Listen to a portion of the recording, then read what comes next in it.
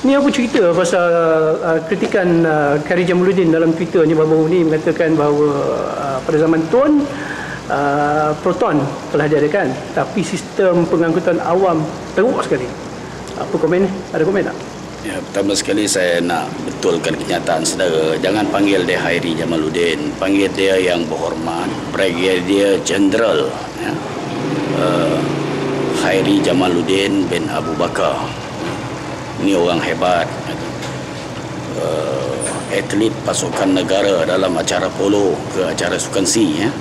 Cuma pasukan polo dia takut untuk bertemu dengan pasukan polo Tengku Mahkota Johor dalam nak menjawab uh, soalan saudara tadi uh, mengenai tweet Hairi eh Brigadier General Hairi uh, saya nak bagi tahu dia bahawa kalau pengangkutan awam terrible di zaman Tun uh, sebenarnya Tun telah memulakan langkah uh, untuk menyusun semula pengangkutan awam dengan uh, Lebuh Raya Utara Selatan ibu kepada segala lebuh raya uh, di banner di zaman Tun.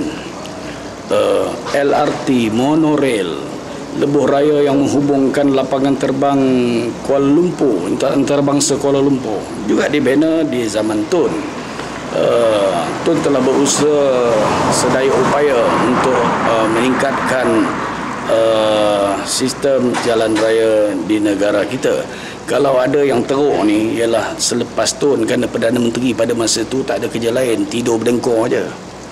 Itu saja komen saya.